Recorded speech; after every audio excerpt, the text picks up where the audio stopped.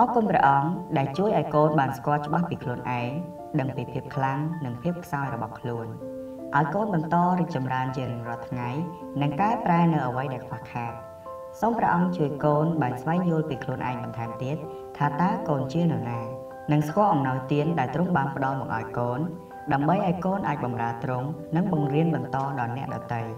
កូនសូមអធិដ្ឋាននៅក្នុងព្រះនាមព្រះម្ចាស់ព្រះយេស៊ូវគ្រីស្ទអាមែន